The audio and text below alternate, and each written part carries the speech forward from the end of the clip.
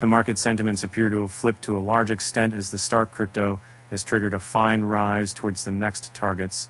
The shorts are being squashed, then while huge long bets are being placed. This displays the growing optimism among the market participants, which is in turn increasing the strength of the rally.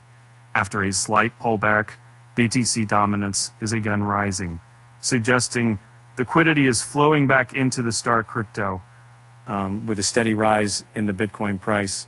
Um, network activity also soared to a large extent, um, and the BTC hash rate, which calculates the network activity, has reached a peak and million people.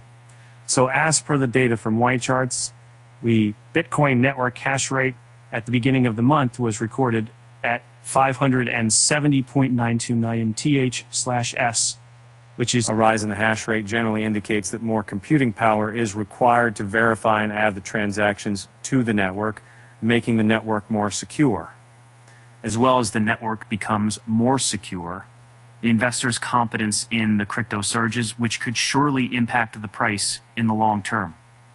So alongside, the BTC price is closer to accomplishing a massive move as the technicals have flashed a huge bullish signal the price recently encountered the very first weekly depth and other cross in history, and now it may face the first weekly golden cross.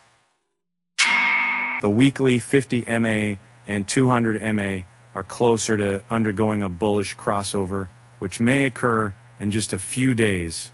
This may offer the required push to the BTC with price, which is trying hard to close the weekly trade above the crucial resistance if the bulls sustain the gains. The target above $40,000 may be easily achieved and lay down a strong support base for Bitcoin to close the year on a bullish note.